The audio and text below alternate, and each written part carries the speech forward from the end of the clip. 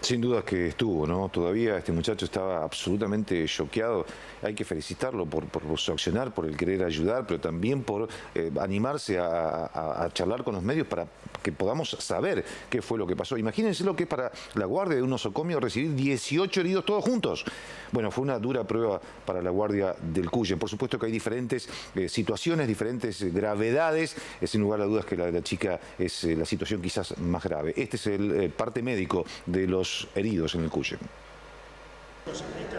En conferencia de prensa, el doctor Juan Pablo Poletti, director del Hospital Cuyen, informó que siete fueron las personas atendidas por el vuelco del colectivo en la avenida Circunvalación.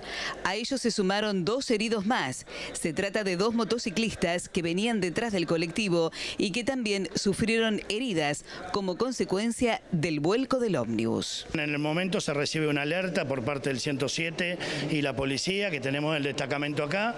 En ese momento se activa la guardia para un accidente de heridos múltiples, le llamamos nosotros. Lo que se hizo fue en primera medida ver cuántas camas teníamos ocupadas y había que desocuparla. Pacientes que estaban esperando internación inmediatamente se llevaron a internar o desocupar la cama de la guardia y así se fueron recibiendo los heridos.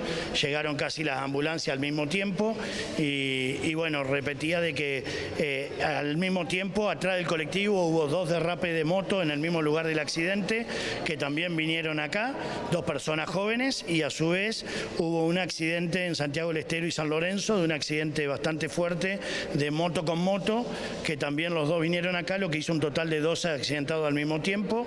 Se activó la guardia, se llamó, se hizo lo que se llama el protocolo de emergencia. Eh, el jefe de la guardia, el doctor Martínez Dor, el jefe de la División Guardia de Urgencia, se hizo presente. Él es el que coordinaba un poco la voz de mando, que alguien tiene que ordenar quién va al shock room, quién va a la sala de y, a su vez los residentes de cirugía, de traumatología y de clínica estuvieron llamados a la guardia para poder eh, cuanto antes hacer la evaluación primaria, que es lo que determina qué paciente está grave y debe ir al shock room y qué paciente puede esperar y hacer en un segundo tiempo una revisación secundaria. ¿Cuántos son los pacientes graves del colectivo? Uno solo, una chica joven que está en quirófano y que realmente está complicada su estado de salud. ¿Tiene muchas lesiones en el rostro?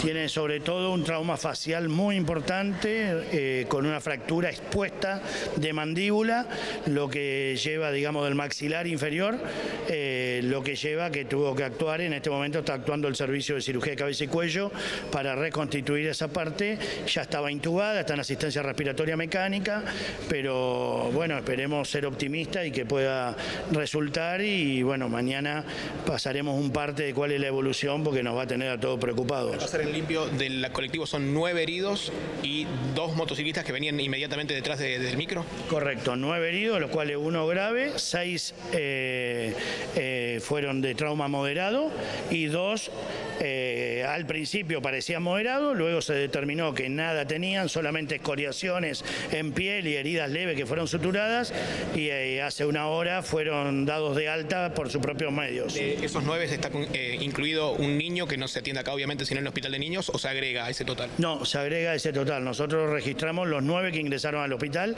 pero por eh, lo que refirió una de las pacientes, que era una de las accidentadas, era mamá de un chiquito que llevaron al hospital de niños. Eh, no tengo el dato de cómo está, pero eh, el total fueron nueve accidentados, más los dos que hablamos después, más el accidente de, Santiago del Estero y San Lorenzo. ¿Son de Santa Fe la gente o de, Rosario? ¿Pudo más o menos saber de dónde son? Por lo que tenemos entendido, había de Coronda, había de Santa Fe y había de Sauce Viejo.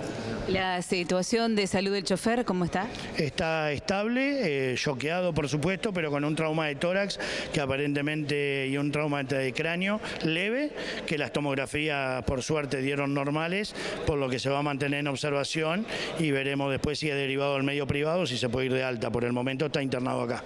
Únicamente y lamentablemente con los únicos no tenemos familiares, con el NN, que es la chica que está grave en quirófano, que por ahí ahora no tuvimos la oportunidad de contactarnos con familiares por desconocer la identidad ni tampoco vinieron familiares a preguntar por alguna paciente que no nos concuerden con los que sí tenemos identidad como para identificarla como ella. Así que bueno, estamos a la espera que cuando se enteren del accidente posiblemente vengan.